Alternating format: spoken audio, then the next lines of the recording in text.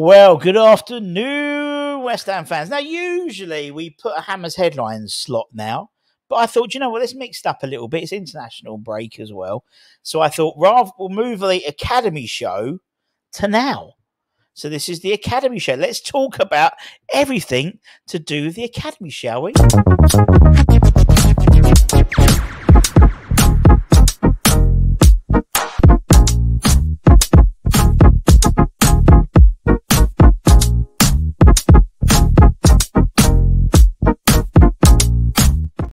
So, a very good afternoon to you all. So, anyone new to this, what we do, anyone we've had since you know the end of last season? So, every Monday we do a, show dedicated just to the academy, just the under 18s and the under 21s, and obviously any, any other news that's uh, around about the academy. The reason being is obviously the academy is such an important part of being a West Ham fan, really. And obviously, you know, we, I'm in a very privileged position that I get to watch a lot of the academy football as well. So, you know, you might not get a chance to watch it all. So, the idea is we do it, and we obviously we've got a lot of players out on loan as well, uh, a lot of academy players out on loan. So we give you a little update of how they're doing and a little match reports of any games that the 18s and 21s have been playing, and also any other like news. There's been a lot of news, any stuff that's happening, um, any contract news or anything like that. We bring to you as well. Um, and and yeah, you know, obviously coming into international break as well, there's going to be a number of players who go out who are our uh, our academy boys out with uh, their various um, nations as well. So yeah, just to let you know what's what's going on with all of them. So what we tend to do is we tend to do the loan stuff first. Oh, sorry, we do the news, then we do loan stuff, and then we talk about um, the actual um, games that have taken place, taken play, taken part. You know what I mean? But we're going to mix it up. We're going to talk about the loans first. We're going to st- start talking about some of the players who've been um, who are out on loan for West Ham and their counterparts. George Earthy being the first one. Now, George was an unused substitute, didn't feature. Uh, so he wasn't didn't feature in the match. They scored a tour actually uh, for Bristol City as they lost three 0 away to Derby on Saturday. Obviously, they'll be going into the international break now. Um, wouldn't say he's had loads of loads of game time yet. it's still early doors when it comes to George in terms of um, in terms of his um, progress into the Bristol City side, but I'm sure he'll get a lot more minutes. Obviously, he made that fantastic debut against Millwall, uh, where he was the assist to the assist Sounds like the office, isn't it? Assistant to the assistant, but assist to the assist. They got the got the winner against Millwall for Scott Twine. Um, let's talk about Callum Callum Marshall, who's, who's had a great start for his um, time at uh, Huddersfield. He was he started and played the first sixty seven minutes for Huddersfield Town in their two one defeat away to Rotherham United. Interesting enough, Tuesday they have. Um, uh, Huddersfield play Doncaster. Doncaster is Patrick Kelly's uh, side, although I doubt that either will feature potentially.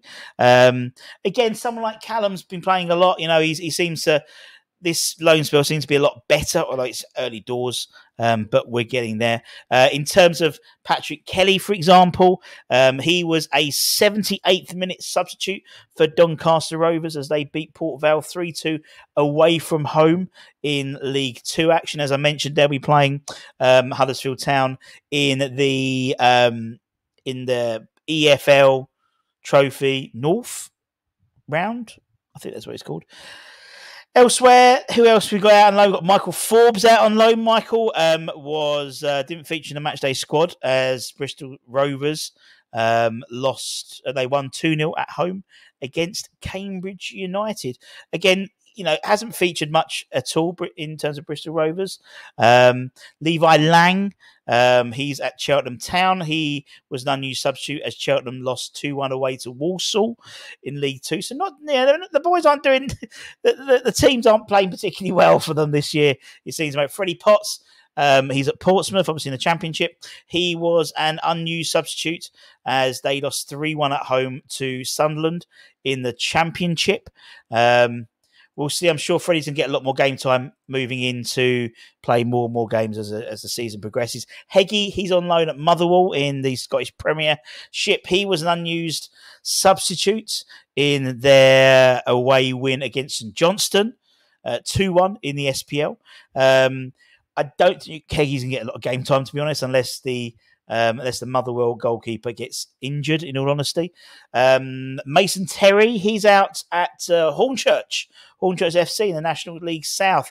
They lost. He played the full ninety minutes as they lost three two away to Weston-super-Mare in the uh, National League South. Good to see Mason, obviously. I think they're playing at home on Tuesday, I want to say, um, in terms of uh, Hornchurch, their next game. Let's talk about the internationals. Obviously, we're going into the international break. A number of the, the first team, obviously, out on international duty. And so are our academy stars, as eight hammers have been called up to England youth squads uh, across the um, across the breadth of the academy under 21 captain, uh, West Ham under 21 captain Kaelan Casey. He'll be travelling with the elite squad, um, formerly known as the under 20s. Um, it's his second call up to elite squad, having represented the Young Lions in June earlier this year. Um, George Earthy will, who also featured, um, but will miss out due to an ankle injury, which explains why he wasn't in the squad for Bristol City. Uh, under 19s, Lewis Orford here, Josh Ajala, we'll talk about in a minute, Finlay Herrick, we'll talk about as well in a minute. They've all been chosen to represent the Three Lions. Both um, Lewis and Finn are um, have had a history of representing England uh, across various youth levels, um, starting from debuts at the under 16s. So um, Lewis was the captain actually for the under 18s when they beat Morocco 2 1 at St George's Park back in May. Um, who else have we got? Um, further down the card, Edris Golombekis, my boy.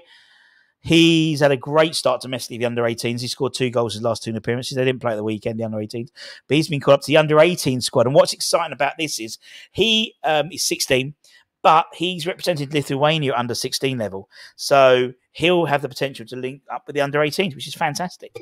Elsewhere, we've got uh, Andre Dyke, Cinzana Nuoso, and Lani Awasi. They will be heading to Germany for the under 18s, England under 18s international camp, but they go up against Mexico uh, Israel, and Germany. So there's a lot of uh, England call ups there, which is fantastic news for the boys. So looking forward to seeing the old uh, Three Lions for the old West Ham.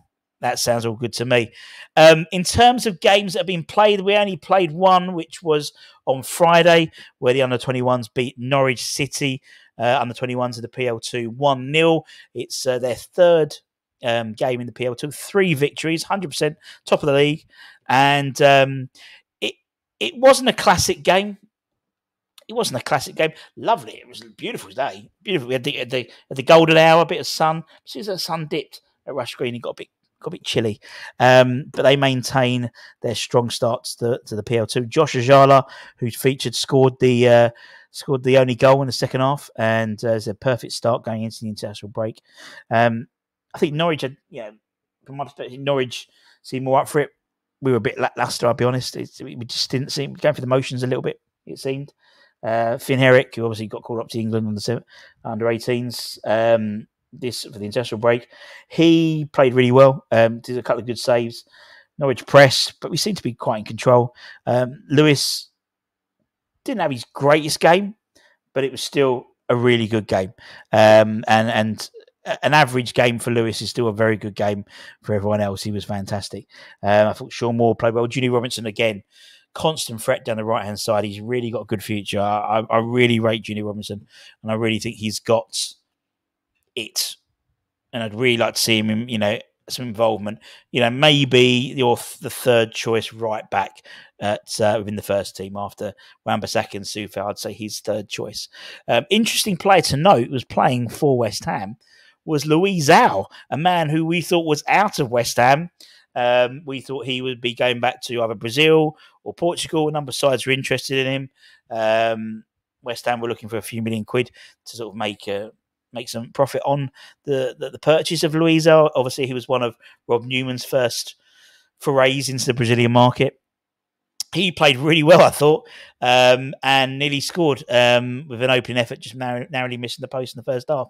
Um, but yeah, it was a, a strange side as well. Obviously, uh, Kaelan didn't play. He was obviously called up into the first team um, as sort of the, the fourth choice centre half, basically. Um, obviously, with players out on loan.